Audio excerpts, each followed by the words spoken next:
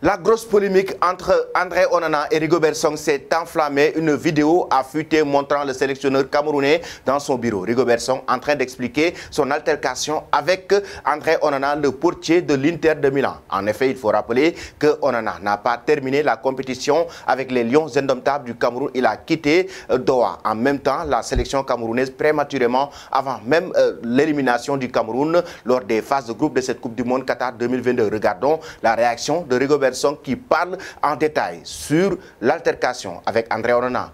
Je le vois le matin, je lui dis, tu sais quoi, je ne veux plus fonctionner avec toi. Va voir le coordinateur, il te fait une visite, Comment après? Je lui dis, non, je n'ai pas le temps tout de suite je suis en train de préparer les gars.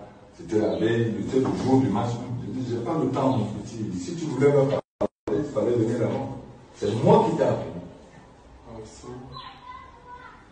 Un faux problème. À l'entraînement, il fait son one man show là, il joue avec les petits, mais il me met. Mais je l'appelle, je dis, mais non, ça c'est les risques. Joue-moi le ballon sur le côté. C'est plus simple sur le côté, on peut le perdre et même jeter. C'est plus simple sur le côté, on peut le perdre et même jeter là-bas, on le fait. Il est facile. Lui, il ne faut pas lui parler. Voilà tout le problème. Il ne faut pas lui parler. Mais j'étais à Ouaka, personne ne lui parle. Les Choupo-Montine, je ne parle. Les Amandis, ça ne parle. Les grosses têtes. Faut que je ne peux pas te parler.